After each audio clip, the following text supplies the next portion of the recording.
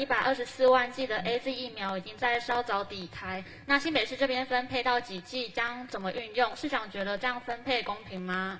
谢谢，因为市长一直希望是因为整个疫苗的分配要用战略部署的思维，在一级战区里面的分配跟其他地区的分配上，这个指挥官要考量整个高风险跟中风险。那刚刚我在 CDC 的时候也听到陈部长说了，他会考量在疫苗的分配，用高风险、中风险的方式去处理这个疫苗的分配。这里我非常尊重我们的指挥官对疫苗的分配，我想全民大家都有这样共识，由统统由 CDC 指挥来分配。那再想问一下，目前市面上的疫苗都没有办法让十八岁以下者接种。若未来疫苗充足的话，是否会考虑把教师纳入公费施打对象？毕竟教师时常跨班上课，如果有老师老师染疫的话，可能会造成校园群聚感染。另外，近期疫情没有趋缓的迹象，对于六月十五号是否能复课，市长的评估是会建议持续停课到放暑假吗？谢谢。我先请教育局，要请教育局。有关呃教职员是不是施打疫苗，还有学校是否继续停课、要不要复课等政策哦，目前都是属于全国一致的问题，所以教育部也明确表示会和 CDC 依据疫情和疫苗的状况来研议规划。那教育局也会建议教育部能够尽早确定，以利各县市和家长提早应应。让大家共同团结防疫。呃，那那个停课的部分的话，市长的评估是？我想这个部分，教育局他们在中央的整个指示底下，会做一个统合的来做一个协调。我想关停班停课的部分，目前到警戒三级这个部分，我想这个部分我们是会走受全国统一来做好配套措施。好，另外有台大公卫专家传声教授喊话双北市双北首长柯文哲侯友谊，希望国产疫苗能在双北疫区做三期的试验，积极扶持国产疫苗。请问市长的看法？呃，我想任何疫苗的开发都有他们的相关计划，包括试验计划。我们不清楚它整个细化的实施内容。同样也是疫苗相关的议题，华师蔡月玲。新的一批疫苗进来，基隆市长林佑昌希望中央比照双北市给疫苗，怎么样看这样的说法？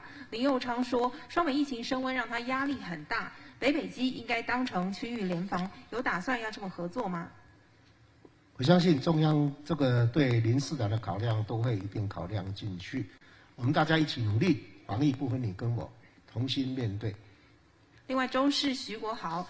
台湾现在靠美日给疫苗，有民众炮轰，干脆以后就叫美日代购好了。请教市长的看法。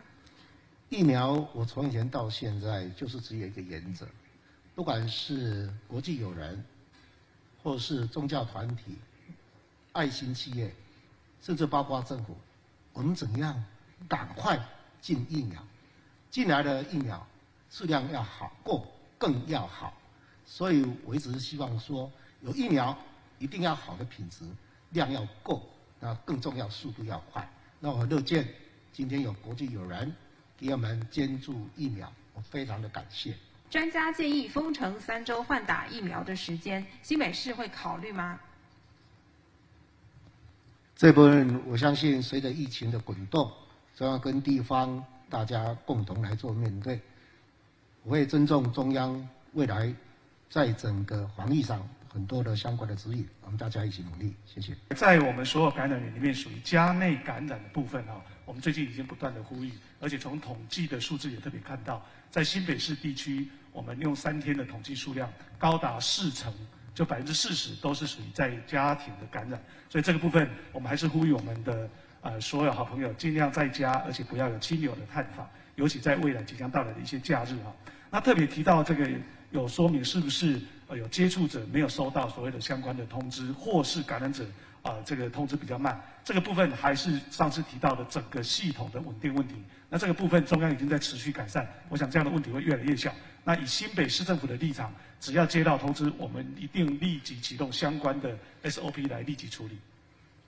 那中央已经说已经改善了 PCR 检测上传系统，但至今过了两周，新北市仍有大量的校正回归确诊数字，连经发局都有同仁隔了七天才收到 PCR 报告，发现自己确诊。染疫期间也曾到市府上班。目前新北市筛检站是否还有塞车的问题？请问市长是否会觉得校正回归拖太久了？好，我我想筛检站在新北市的量现在开得非常的够。包括后续的 PCR 的这个处理，我们的这个量呢大概都已经冲出来了，全国都已经一直在做这个地方的努力。那至于我们呃所有确诊同仁的相关处理的 SOP，我想这个部分我们针对这几次的处理，从确诊者到框列者到相关的清洁，还有所有的安置处理，我们都做得非常的这个完善。我想这个部分我们会持续来努力哈。那至于其他的部分，呃，不管是系统，不管是相关的一些作为。这一段时间应该在中央的努力下，已经改善的差不多啊。我们会尽快的让所有的这个确诊者都尽速的得到安置。那想问一下，市府内部已经有单位就四级管制人力进行调度的安排，这是市府针对人力配置的超前部署规划吗？疫情控制的状况是否没有想象中的那么乐观？好，我们在人员的安置部分啊，并没有所谓针对哪一级特别去设计哪一级，而是随着疫情的发展。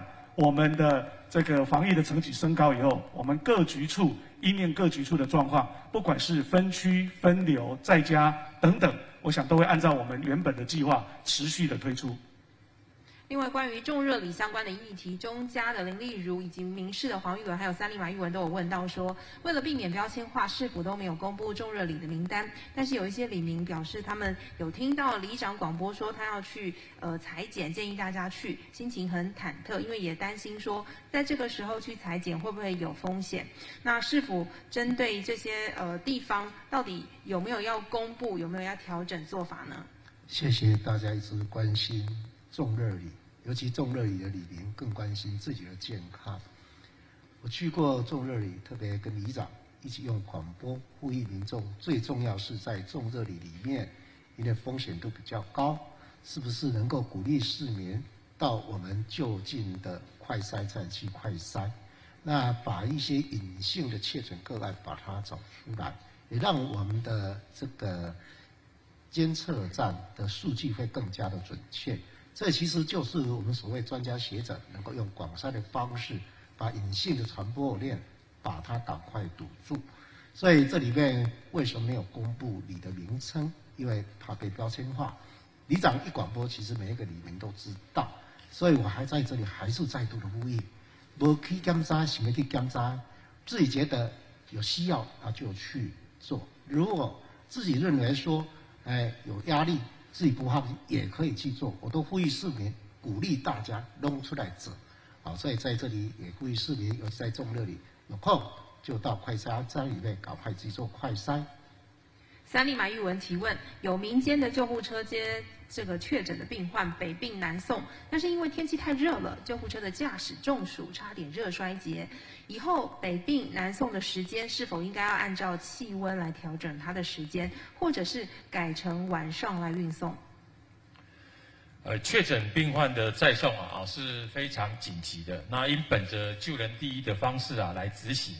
那至于在送中啊，因为穿着全身式的防护衣有热衰竭的情形呢，那我们会建议民间救护车的呃这个驾驶啊，啊可以来穿着啊冷却背心。还可以使用这个冰砖的椅垫及准备大冰桶啊，那这样就可以避免啊发生过热啊中暑的情形。另外，中师徐国豪跟 TVBS 李做很多关心疫情，在确诊的数字没有下降，双北的疫情还是很严峻，死亡数也增加了。这个染疫的高峰期是不是过了吗？那市长是不是认为应该要强制这些民众都要来普筛？有没有具体的做法？谢谢大家一直关心新北市跟台北市的疫情。确实，新北市跟台北市的疫情仍仍然严峻，我们还是在一个高峰期。尤其我们连续有两波的个高峰。那目前我们虽然没有让它大幅上扬，稳稳的守住，但是我们也不可不排除有可能再有一波的这个高峰期来，所以我们会全力的去做防疫。那我在这里为什么说特别呼吁我们市民朋友？我们为什么广设快筛站？就是希望大家出来筛检，甚至包括今天推出的道宅快筛队，也就是希望有一些确诊的很多的长辈跟孩子，还有身心障碍者能不要都出来来给到个服务。所以像这些都是希望赶快把这个传播链把它堵起来，只要传播链堵起来，有效的控制，那疫情就可以得到控制。所以我们现在全力在做这个部分。至于我还是要拜托市民朋友们，大概大概在家里待了二十几天了，真的三个礼拜，心理压力很大，身体的承受也很大，所以要在家里一定要尽量拜托大家，真的还是不要出门，低度再低度的活动，因为疫情并没有过，所以拜托市民真正大家都做辛苦的，市长。啊！大家拜托，更加忍耐一下，看疫情快快紧的来回。呃，另外想追问一下，市长刚有提到七区二十八个重热里的人口大概有多少？如果这些快筛阳性之后，新北市是否有足够的医疗量能来处理？我想，根据我们最近在板桥的大型的快筛站，一天最少可以筛六百个，最高可以筛掉三千六百个。所以这个量呢，我们当时都有做好预估。那在昨天这个筛检出来的阳性率，其实它的比例并不是很高，所以我们一直在做观察跟监测当中。所以这个事情我们都做好评估。我鼓励我们中这里的里民们出来快筛，确实新北市跟台北市的一群仍仍然严峻，我们还是在一个高峰期，尤其我们连续有两波的个高峰。那目前我们虽然没有让它大幅上扬，稳稳的守住，但是我们也不可不排除有可能再有一波的这个高峰期来，所以我们会全力的去做防疫。那我在这里为什么说特别呼吁我们市民朋友？我们为什么广设快筛站？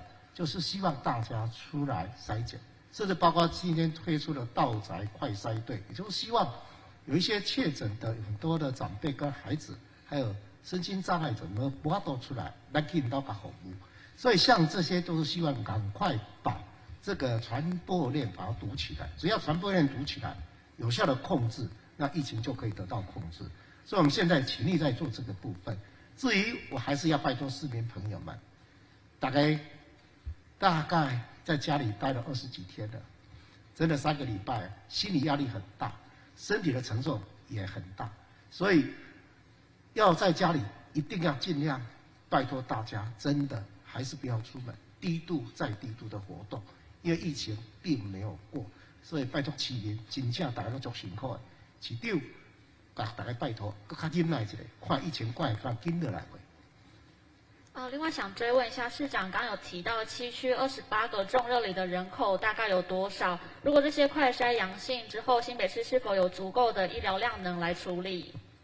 我想，根据我们最近在板桥的大型的快筛站，一天最少可以筛六百个，最高可以筛掉三千六百个。所以这个量呢，我们当时都有做好预估。那在昨天这个筛检出来的阳性率，其实它的比例并不是很高，所以我们一直在做观察跟监测当中。所以这个事情我们都做好评估。我鼓励我们中这里的里民们出来快筛。